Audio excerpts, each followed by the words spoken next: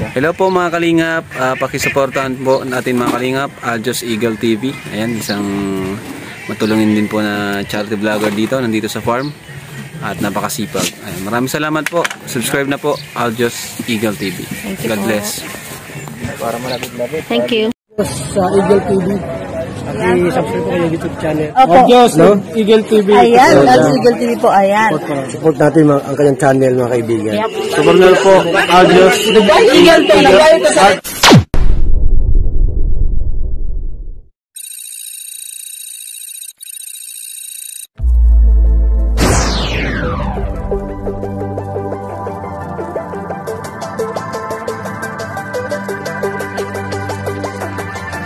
Ayan po mga kalingap po.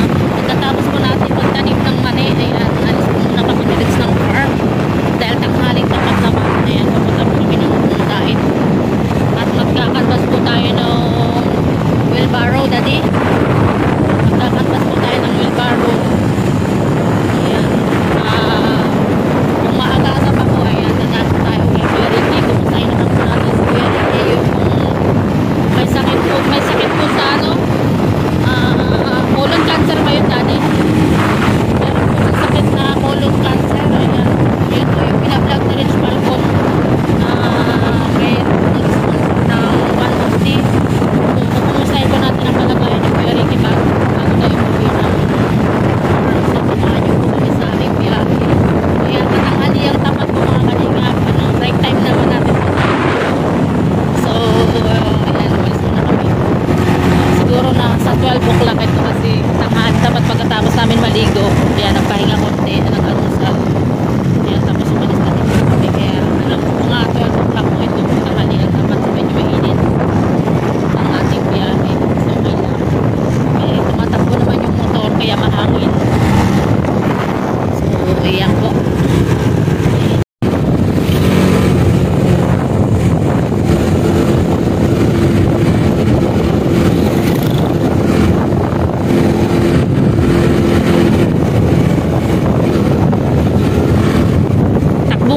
lang po yan sa Ritz.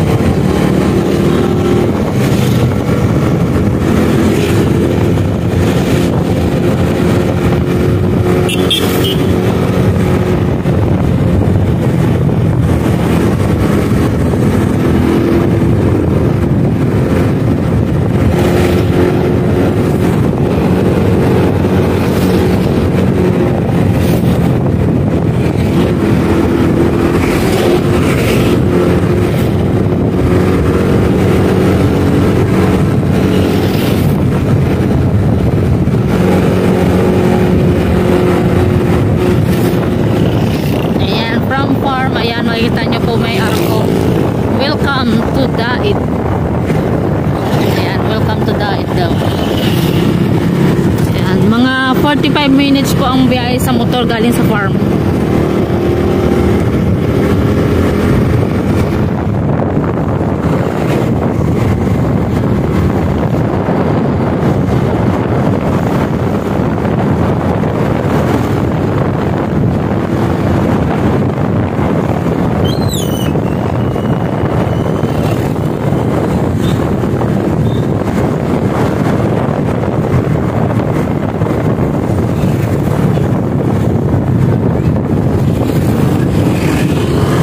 Yan po mga kalingap, nandito na po tayo sa bahay nila Kuya Ricky. So yan, may sounds po sa loob. Tayo makapasok. Sundan natin si Rich Falcon, may mga sounds. Yan, daming sounds. Ito po, ito po pala yung papasok eskalita. Ah, dito po pala. Ito pala siya nakaiga. May sounds. Hello po. Ito po si Kuya Ricky nakaiga na. Ang bigat nga po, hindi ko kaya magwating. Kanina umiiyak na ako. Kayo po ang nanay? Mm-mm. Ay, ba't nung nagpupunta ako dito, wala po kayo? May isa pa po yung kapatid na pag-aalagaan ko. Mm. Nandun po sa Mercedes. Ah, ganun ba? Kuya ba, kuya, eh, Mm. kung ano naman ako, mo naman ako pabayaan. Oo, eh, kaka, ano lang namin, Umuwi po yan ng Antipolo kami. Manila. O ano nang ano mo, kamusta ka na? Sabi niya nga po sa akin, mapapasok daw siya ng hospital. Tapos po, sabi ko hindi ko kakayanin kasi mabigat. Ang payat ko, malit ako. Ang bigyan ko, kung pagpapalit ko pag ng diaper niya, yun ang inaano ko sa kanya. Ang sabi ko, kung may isa man lang akong katulong, di sana na ano ko siya. Yung, ito, yung UTI ko ang gusto kong maipagamot. UTI? Hindi kasi po nagkakaisip. Oo. baka dahil na rin doon Hello, kumusta ano mo po? yan. Dahil na rin doon sa colon, ano mo yan? Yung isang pating niya, inaalagaan ko sa Ano Mercedes. pong problema kapatid? Sa baga naman yun. Mm, Kasi nung magaling pa siya, sabi ko magpa-check up na. mm, Ayaw niya, sasabihin daw, may TB siya. Hanggang sa lumala, yun ang kinalabasan. TB na nga. Hmm. Dapat hindi ko na. Kahapon umuwi ako dun. Humihingi sa akin ng pera. Tutoy, wala na akong pera pa masay punta kay kuya. Binilang ko ng isang kilong bigas. So, Saka binilang ko ng isang Ilan po bang anak ninyo nanay? apat po yan. Lima sana yan, namatay yung dalaga. Mm, tapos yung dalawa, Nasa parehas may Maynila. sakit. Ito dalawang lalaki may sakit. Yung dalawang babae ko naman tag tatlong anak. Tapos yung pinakabunso, balo na, may tatlong anak. Ay hindi naman makatulong sa akin kasi wala man talagang pira. Tulungan mo kami, Kuya Bal. Tapos Ay, yung bahay pa namin, kung may bahay lang sana kami sa kabila, nung ko na lang ititira yan. Nagiba na. Saan pong bahay? Yung pong lote dun sa kabilang krusada. Yung dinadaanan dito? Oh, sa may malaking punong kahoy. Hmm. Talagang walang-wala kami. Ngayon niya pinakain. hindi, po, hindi po kita maharapan ng maayos. Sige lang, okay lang, okay lang. Sige lang, kasi ano, May kinakasama naman po ako matanda na. Ang bahay namin doon sa Mercedes, giba-giba pa. Umuwi nga ako kahapon. Kuya, bakit ganyan, Kuya? Pag, pag, ay, ano yan? eh, nanginginig yung kamay ko. Hmm, Hindi ko alam kasi usually kapag ka, ano, may lagnat ka ba? May lagnat ka?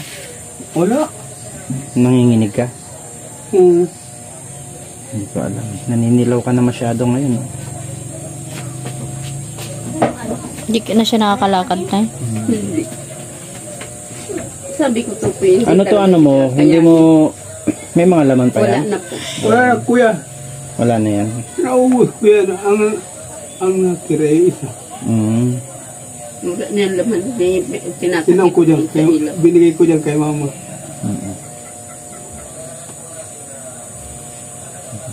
Eh, at least makapag ano tayo, ah, masabi natin doon sa sponsor yung kalagayan mo ngayon.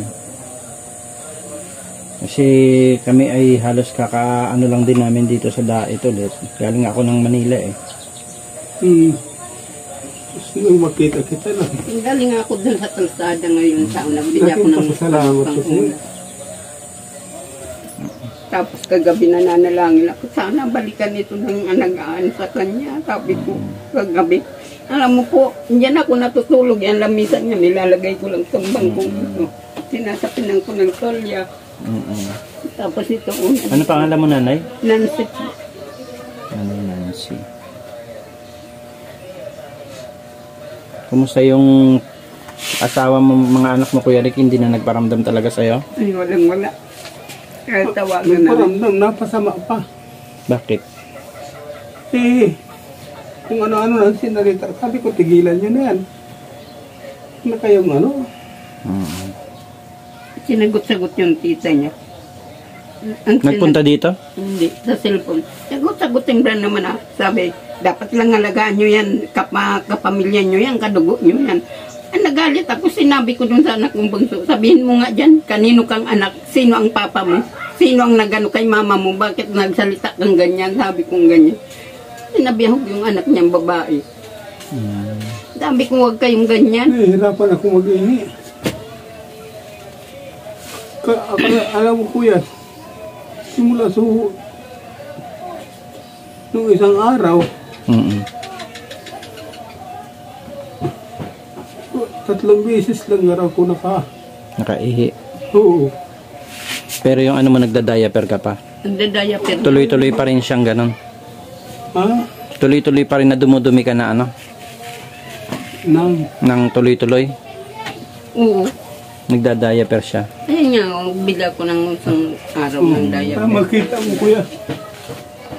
Sige lang. Bumili ako ng isang diaper. Hindi, hindi ko nga sinabi sa kanya. Binili ko. Ang alam niya may nagbigay. Hindi niya, hindi kanya alam. Galing ka kuya sa Manila. Oo. Naubos yan. Puro yan. Kahapon pag uwi ko sa Mercedes, nagbayad ako sa ilaw namin doon. Yung isang kapatid niya, binigyan ko isang kilong bigas at comfort na asukal. Saka yung quaker oats, binigyan ko din. Sabi ko, totoo yan, pagtyagaan mo muna. Dalawa sila kasi yung kapatid magkasunudan, panganay ito. Kung hindi sana yung nagkasakit, naglalaot kasi ito. Kaya pa mo naman ako ng ano ng ng yung ano yung mag-i-sponsor sa akin na Eh, ka- ikaw kasi ang ano ko rin sa'yo. Noon kasi na malakas ka pa, tinatanong ka ng sponsor kung magpapa-opera ka. Yun kasi, kaya o-operahin ka, doon talaga lalabas na lahat yun, pero aayos ang pakiramdam mo. Nung wala na yung pag yung natin na ito. Mm. Wala yun. No, kaya nga, ang naging ano natin kasi, ah, yan kasi dumi yan eh. Lalasunin yan yung sistema mo eh. Kaya, ayun. Eh ngayon, syempre, nabanggit ko na sa sponsor na ayaw niyo magpa-opera. Kaya, ayun, medyo nag-ano na rin yung sponsor. Pag napapa Mga sinisip ko, sinisip ko. pag napapahiling ako kuya, Bakit ano kukunin mo? napunta ko doon sa gilid na yun. Saan may hilahin mo yun? Pak, kaya man. Pinipilit mo umihi. mo. Oo. Hindi man ako nagkakaedi. May mga payong pa, may tabo pa. Oo, gamit nyo yan dati. Kaya tulungan mo naman ako kuya. Kanina maya-maya ang tanong sa atin, anong oras na? Wala na, wala na si Hindi ko alam sa kanya tinatanong niya, ano naman anong oras na? Tanong niya yung tanong, ano? Naglakas nang makita nga kita, tuwan-tuwa ko. ha? Makita nga kita, tuwan-tuwa ko. Nag-aalala din naman kami sa'yo, kaya lang eh, nga. Nating naman. Medyo may mga hinaharap din tayo mga ano. Kaya yan ngayon,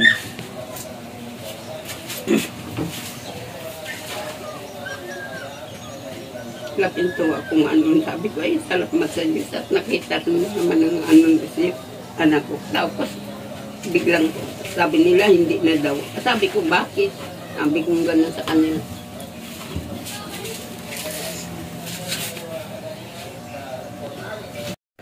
Kung dalawa man lang po kami, kaya ko. Kasi may katulong, may katulong ako, may katulong ako. Kasi nung mamatay si nanay, ganyan ang nangyari sa akin. Siyempre sa gibat ni nanay, akong nagbubuhat, nag-aalaga. Nagkasakit ako. baka akala po na sponsor, milyonarya kayo. Kasi Ay, Diyos ko po, piki man ang dami ito. nang naginto-ginto. Piki man po ito. Ayan, baka isipin nila ay Diyos ah, ko baka mahirap tulungan kasi maraming ginto. Kasi tinatawanan niya ako nung interviewin ako sa DSWD. At pinapatawa lang kita nanay. Alam ko naman yung kwenta mo, hindi totoo. Nag- Sabi ka nung pinapatawa Kuya. lang kita kasi masyado ka nang na, Nag-uwi ka ano daw, na-stress na daw yung isip ko. Antipulo. Na-stress na daw yung isip ko. Pinapatawa lang kita nanay. Sige lang, sige ko kuya, huwag mo na ko. pilitin. Okay lang yan, walang problema. Na kapag usap Parang naman tayo. Pag ano naman tayo kahit konti. Tulungan mo naman ako kuya kahit ano lang yung sa ano lang UTI. Mm. Paano mo nalaman na may UTI ka? Hindi nga daw ako nakakaisip. Hindi na nga ako nakakaisip. Baka yan kasing dahilan nung ano, yung sa colon mo eh. Upo kami. Yung ano po kasi kuya, pag ano, naghingi ng tulong, kulang ako kuya sa tulong. Mm, Walang wala kung uh, hindi, ka, hindi ka na makatulog. Hmm.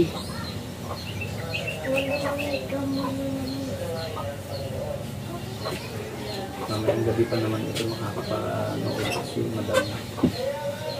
Kasi ano to eh, ibang oras nila sa ibang bansa.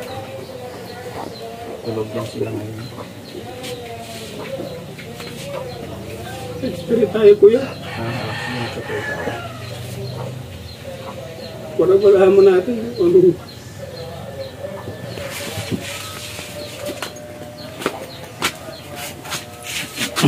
Sige tayo nanay, pray tayo.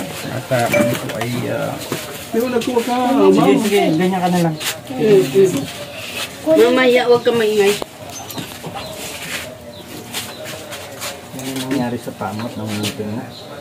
Lapit po kami, Panginoon, sa sa buhay po ni Kuya Ricky, Panginoon. Nakikita mo po yung kanyang kalagayan, ano man po, Panginoon, yung kanyang ah, sitwasyon ngayon. Lumalapit po kami sa iyo, humihingi kami ng tawad, ano man pong aming mga pagkakulang, mga pagkakasala na nagawa namin laban sa iyo, Panginoon. Naninigluhod kami sa iyo, Panginoon, nagpapakumbaba, Panginoon. Inihiling namin, Panginoon, patawarin niyo po kami, Panginoon, aming mga pagkakamali, pagkakasalang nagawa laban sa iyo. Hinihiling po namin, Panginoon, sa oras na to, Panginoon, na kung maaari sa tangi mong kalooban, Panginoon, ay bigyan niyo pa po ng pagkakataon o sa pang pagkakataon si Kuya Ricky, Panginoon, upang ah, may ayos ang lahat-lahat sa buhay niya, may ayos ang lahat sa pamilya niya, may ayos anuman po, Panginoon, yung mga naging problema, anuman po yung mga pagkakamali, pagkakasalang nagawa niya, Panginoon, na matuto pong magpakumbaba, Panginoon, sa iyong harapan, at ikaw po, Panginoon, ang siyang kumilos, Panginoon. Bigyan mo po ng kagalingan ng kapatid namin ito, Panginoon, sa tangi mong kalooban, Panginoon. At hayaan po, Panginoon, na muling mag-function, Panginoon, ang lahat ng organ niya sa katawan, Panginoon. Yung kanyang ah, maging regular yung kanyang pagdumi, maging regular, Panginoon, yung kanyang pag-ihi, maalis, Panginoon, yung paninilaw ng kanyang ah, katawan, maalis yung panginginig ng kanyang ah, buong katawan, Panginoon, at yung pangingitim ng kanyang mga paa, Panginoon. Umaasa kami, sa iyo lamang kami nagtitiwala, Panginoon, dahil kami po, limitado po yung aming kakayanan. Magi ang mga doktor, Panginoon, limitado ang kakayanan. Ikaw lamang po ang aming dakilang Diyos, Panginoon, na mayroong kakayanan na baguhin ang sitwasyon ng aming buhay. Na ikaw po, Panginoon, ang may kakayanan, Panginoon, na magpagaling, Panginoon, kay Kuya Ricky, O God. Lord, bigyan mo po ng katatagan ng kanyang nanay, Panginoon, na nag-aalaga sa kanya. Ano man po, Panginoon, yung ah, pangangailangan ni Kuya Ricky, Panginoon, Lord, niling namin sa iyong dakilang pangalan.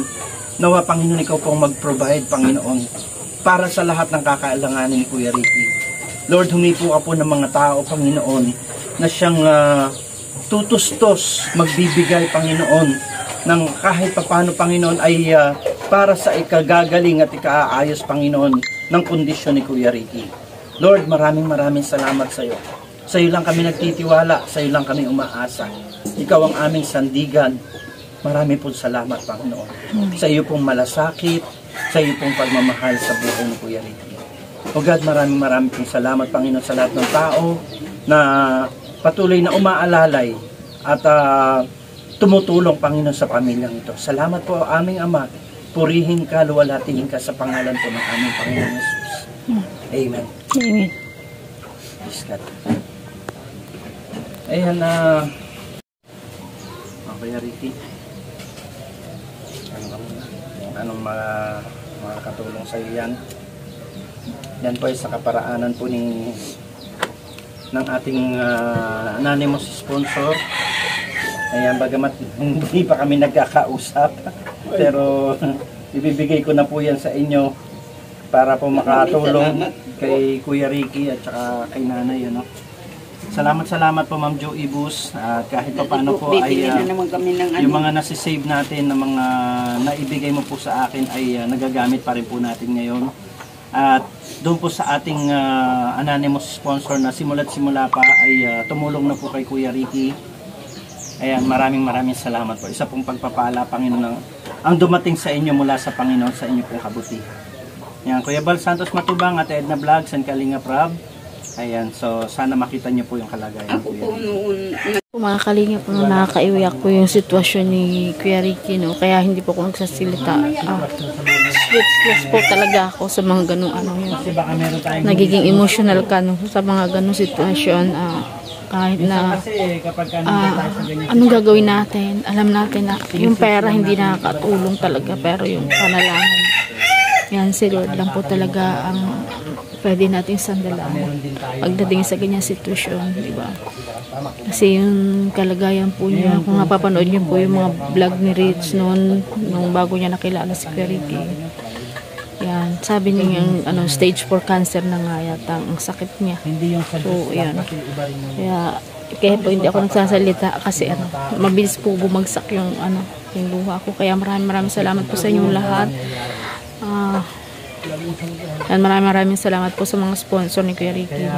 Nagpapaabot ng tulong sa kanya. Yan, sana po i-bless kayo ni Lord na maraming maraming blessing para po marami pa po kayong matutulungan. So maraming maraming salamat po. Ayan, shoutout po kay Kuya Bal Santos Patubang. Ayan. Ate Edna Vlogs at Kalinga Prab. So yan. Ayan, mahibabaw po talaga yung luha ko pagdating sa ganyan. Kaya hindi po ako nagsasalita. So ayan, maraming maraming salamat sa inyong lahat. And God bless po. God bless po sa inyong lahat. God bless everyone sa patuloy ng pagsuporta sa aming mga video ni Ritz. Sa amin, sa lahat ng mga vloggers, sa lahat ng mga charity vloggers. Ayan, shoutout po kay Idol Joey the Great, ayan, Tita Maris, Maria Luis Vlog, ayan, Tita Norman Tapnilion, at sa lahat po ng mga kasama natin dyan, Team Kaurig, ayan, shoutout po sa inyong lahat. Ayan, maraming maraming salamat, and God bless everyone.